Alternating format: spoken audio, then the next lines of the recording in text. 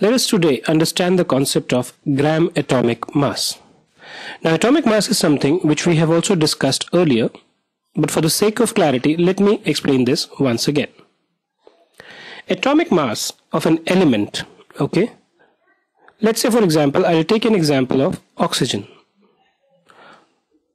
Oxygen has an atomic mass of 16 unit, where U basically represents 1 by 12th of carbon 12 atom. Right? Or in other words it represents that one atom of oxygen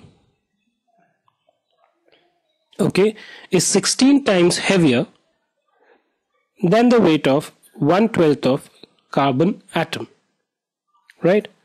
So the atomic mass basically is nothing but the relative mass, the comparative mass of an atom of a particular element, let's say in our example it's oxygen, when compared to the 1 12th weight of a carbon atom. Now let's also understand the meaning of this term which is getting added to the gram atomic mass. Now gram is nothing but it's one of the units which is used for measurement of mass and it's one of the most common unit right so let's say for example, if you go to the market and you say, okay, I want to buy cashew or maybe even apples. Of course, apples you might be buying in kgs or kilograms. You say, please give me 500 grams of cashews. So gram is nothing but the unit of measurement of mass. Right?